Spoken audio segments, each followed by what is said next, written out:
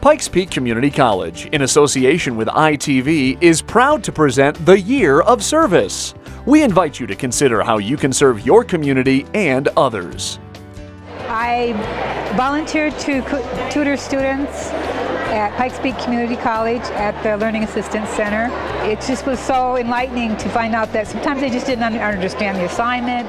Um, they maybe just weren't organized and just being able to steer them in the right direction because I believe every anyone can learn. Getting the positive feedback was just very, very, just really great, especially when people would start asking me for, by name, when are you going to be here again? And Whether it's volunteering every week or just lending a hand once in a while, when you serve others, everyone wins.